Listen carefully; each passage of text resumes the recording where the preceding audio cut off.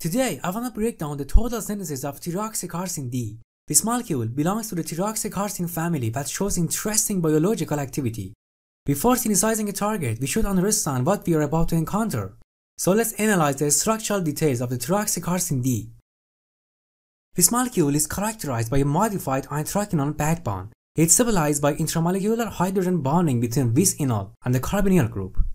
There is also a dioxybicyclo 221 heptane core, but it's hard to see from the front view perspective. If we look at this molecule from the opposite direction, we can see the bicyclic bridge skeleton. Interestingly, a spiroepoxide moiety is attached to the ring and is essential for the bioactivity of this compound. There are also two modified hexose sugars. One of them is directly attached to the anthraquinone core, and another is attached to the six-membered ring with a boat conformation.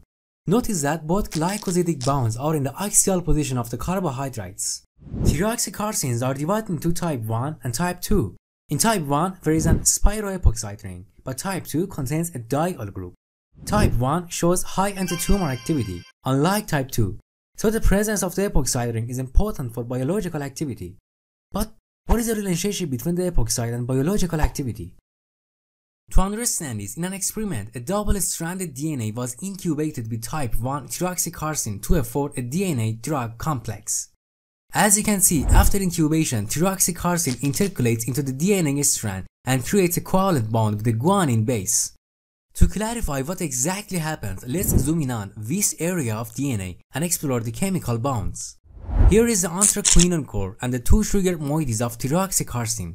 Above it, you can see the guanine base attached to the thyroxycarcin through this covalent bond. The chemistry that's going on here is the nucleophilic addition of the nitrogen atom of the guanine base to the electrophile epoxide ring, forming a new carbon-nitrogen bond. After ring opening, the oxygen atom forms an intramolecular hydrogen bond with the axial hydroxyl group of the sugar moiety. In addition, there is another hydrogen bond between this nitrogen atom of guanine and the second sugar moiety of thyroxycarcin. On the other side of the structure, there is a pyrimidine moiety of the cytosine base making three hydrogen bonds with guanine. As a result of thyroxycarcin binding to DNA, the DNA structure is interrupted. The A and T bases lose contact with their complementary bases and flip out of the double strand. Now you can understand the role of the epoxide ring in type 1 thyroxycarcins. Because of electrophilicity, it acts as a DNA alkylating warhead. But type 2 thyroxycarcins lack the epoxide moiety, which explains the low bioactivity of this family. Since 2015, Nicolau and co-workers have studied the synthetic approaches and biological properties of thyroxycarcin natural products, and they have accomplished a total synthesis of 5 members of this family. All of them share the same main skeleton, but they differ in the structure of their sugars. DC45A2 is the simplest member of this family, without any sugar moiety.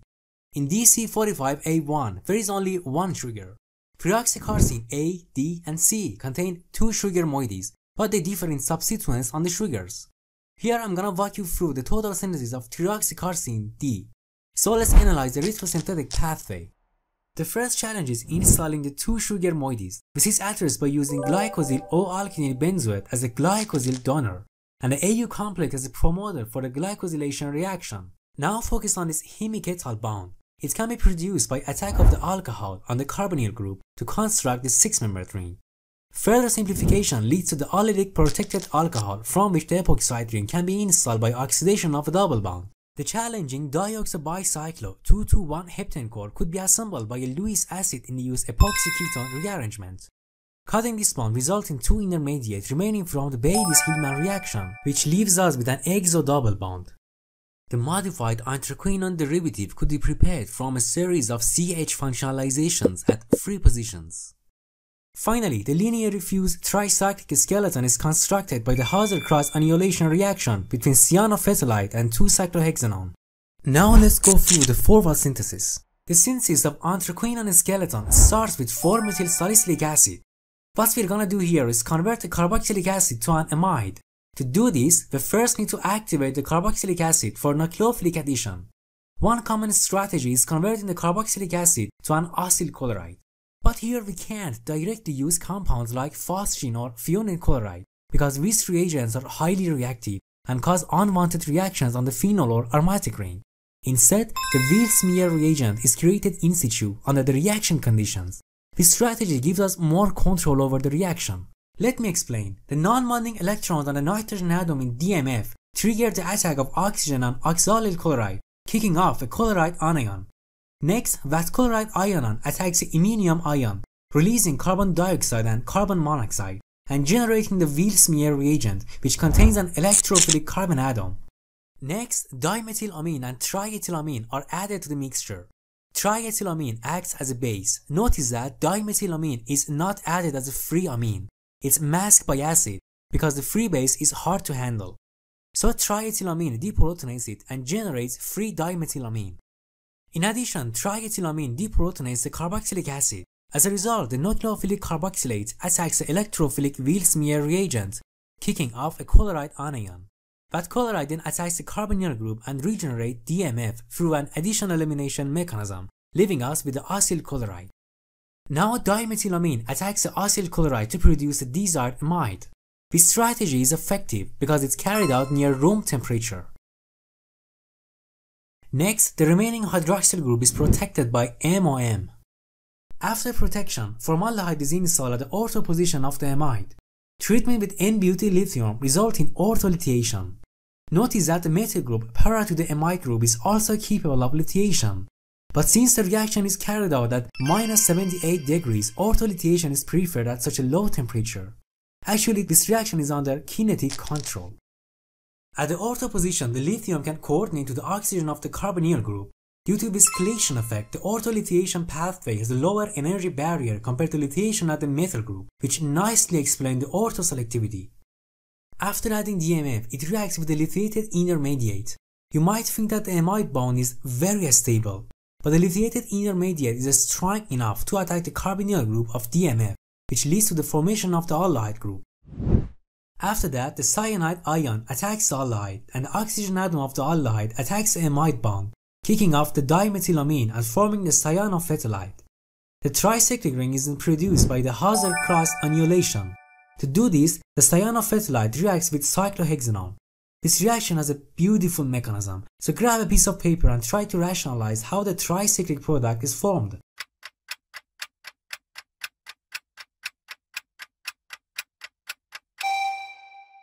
This proton is acidic because of the electron withdrawing cyano group which stabilizes the negative charge. Then it attacks the 4 position of the cyclohexanol which is a Michael acceptor. The resulting enolate attacks the carbonyl group to create an unstable bridge structure.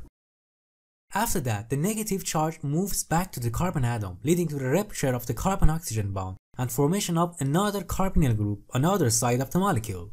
At the same time, the cyano group leaves the molecule. After cleaning up the structure, the tricyclic skeleton is formed. Then it undergoes tautomerization, and the carbonyl groups are converted to hydroxyl groups to extend the length of conjugation. Without isolating the crude product, it undergoes monomethylation using dimethyl sulfate as a methyl source. Actually, it's a chemoselective reaction because this hydroxyl group forms an intramolecular hydrogen bond with the carbonyl group, which makes it less reactive than the other hydroxyl group.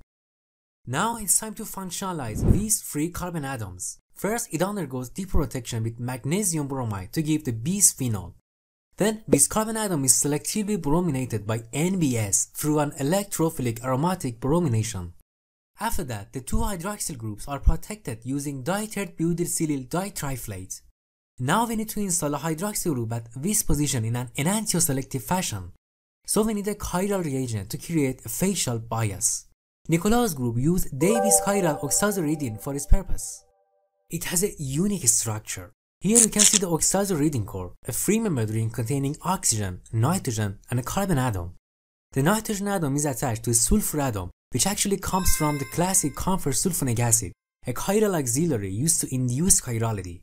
You might be surprised to hear that the oxygen atom in the oxazoridine ring acts as an electrophile.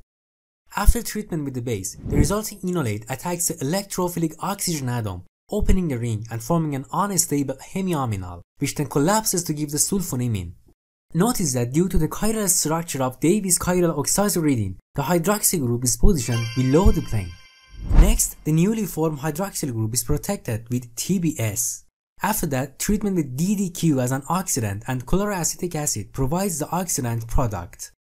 Notice that this carbon atom is benzylic, so it undergoes hydride abstraction by DDQ to create a carbocationic center, which is stabilized by benzene ring when it trapped by chloroacetic acid. Another point to note is that the newly formed stereocenter has the opposite configuration to the hydroxyl group that was already installed in the molecule. Chloroacetate is not a good protecting group for the rest of the synthesis. So after ester hydrolysis, the resulting alcohol is protected with PMB. In the next step, we're gonna add 3 carbon units to the aromatic ring and the bromine sets the stage for the palladium catalyzed steel coupling. The resulting allylic alcohol is oxidized to form the corresponding aldehyde. The next step is asymmetric epoxidation of a double bond. To do this, Nicolaus group used the Jorgensen asymmetric epoxidation to afford the epoxyaldehyde in a diastereoselective fashion. The oxidant here is the hydrogen peroxide urea, which is easier to handle than the free hydrogen peroxide. For inducing chirality, pyrrolidine is used. It has a bulky chiral center. First, pyrrolidine attacks the aldehyde to create an iminium ion. After that, hydrogen peroxide attacks a double bond, but it approaches from only one face of a double bond. Let's go into 3D space to see what's going on.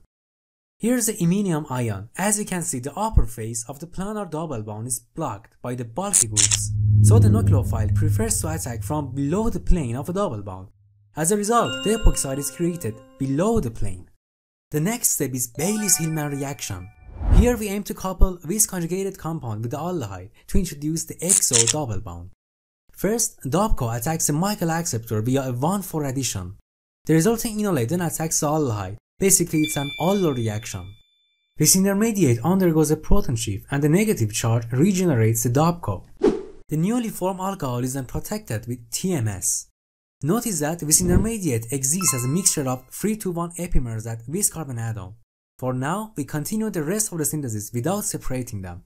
In the next sequence, we're gonna create a bicyclic ring. So boron trifluor F rate is added. Notice that there are two oxygen atoms that can coordinate to the Lewis acid but it selectively activates the epoxide ring. After that, the carbonyl group attacks the epoxide to create a 6-membered ring. This attack proceeds through an SN2 mechanism, so we get inversion of stereochemistry at this carbon atom. Finally, the negatively charged oxygen attacks the carbon atom to construct the bicyclic core. At this stage, the two epimers are separated and we continue with the desired stereochemistry at this carbon atom. Now the allylic alcohol is created by deprotection with TFA. After that, we're gonna introduce the epoxide ring into the system. Nicolaus group tried different approaches for direct epoxidation, but they didn't work. So instead, they installed the epoxide ring in three steps. First, treatment with osmium tetroxide leads to the C-diol. Next, the primary alcohol is selectively tosylated because of its lower steric hindrance. This converges into the good leaving group. Finally, potassium carbonate deprotonates the secondary alcohol, which then attacks adjacent carbon atom to furnish the epoxide. After introducing the epoxide ring, the alcohol is oxidized to the ketone by Legg-Griffith oxidation. Before continuing, let's focus on its strategy and do some critical thinking. As you notice, this alcohol is finally oxidized. If you remember, before creating the epoxide ring, the desired diastereomer was separated. The point is that eventually this hydroxyl is oxidized and the chiral center no longer exists. So why separate it? In other words, no matter if this hydroxy group is downward or upward, it's gonna be oxidized. To find the answer, let's go through the evidence. Right before installing the epoxide ring, the hydroxy group is deprotected and then the allylic double bond is converted to the diol. The orientation of a diol is opposite to the hydroxy group, so we can deduce that the stereochemistry of the hydroxyl group plays a role in the correct installation of the epoxide ring, and that's the reason for separation of diastereomers before epoxidation. Now it's time to get rid of silylene protecting group. So treatment with triethylamine trihydrofluoride leads to the selective cleavage of a ditert butyl silyl group. After that, it undergoes spontaneous formation of the hemiketal by the attack of the alcohol on the carbonyl group. Let's have a look at what we've created until now. Here is anthraquinone core with the correct installation of two protected alcohols. Here is a boat-shaped 6-membered ring resulting from the last step. And here is the oxobicyclic core with the alkylating warhead.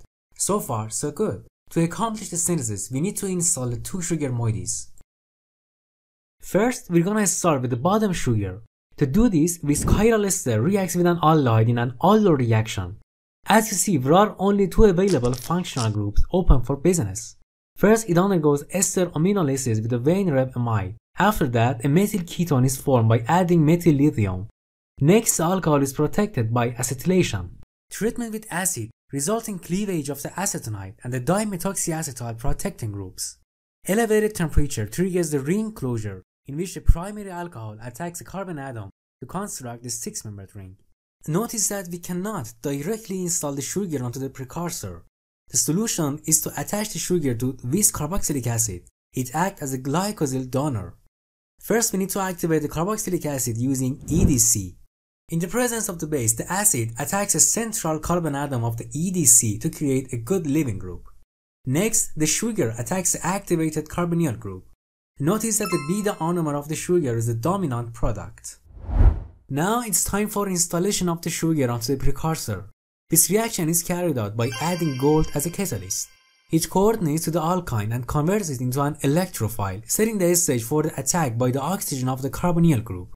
This proceeds with the help of a non-bonding electron of the oxygen atom in the ring, creating a reactive, positively charged oxygen by kicking off the ester. Now the stage is set for the attack of the hydroxyl group, completing the installation of the sugar. The important point here is that it's converted to an alpha ionomer. Nicolaus group used this approach because the formation of an alpha glycosidic linkage is a daunting challenge due to esteric hindrance. But why is the alpha isomer the major product? To find the answer, let's focus on the oxycarbenium intermediate. There are two possible directions for the nucleophilic attack. If it approaches from the upper face, it ends up in the axial position and creates the alpha isomer. Attacking from the opposite sides leads to the beta ionomer. Since the bulky group occupies the equatorial position, the beta form is generally more stable. That makes sense. But, here's the thing. The beta ionomer has to pass through the twist Bose conformation to place the group in equatorial position. So the reaction follows the more stable and accessible pathway, resulting in alpha ionomer. Now let's go through the synthesis of the second sugar. First, the crotonate undergoes standard asymmetric dihydroxylation. Next, Vistiol is protected as an acetonide. The paraphenyl benzyl group helps to get better crystal because it increases the weight of the compound and it's removed next step. After that, just like with the first sugar, we're gonna convert this acid to a methyl ketone using a Weinreb amide. It works well without causing overalkylation. Next, the acetonide is cleaved with HCl. Now the stage is set for adding allyl bromide to the carbonyl group using indium powder. This reaction is diastereoselective due to the presence of the hydroxyl group in the alpha position of the carbonyl group. Next, the double bond is converted to an aldehyde by ozonolysis. Finally, the hydroxyl group attacks the aldehyde to construct the sugar moiety. This sugar is protected with TMS and converted into glycosyl donor. After the protection of the precursor, the second sugar is installed using gold catalyst.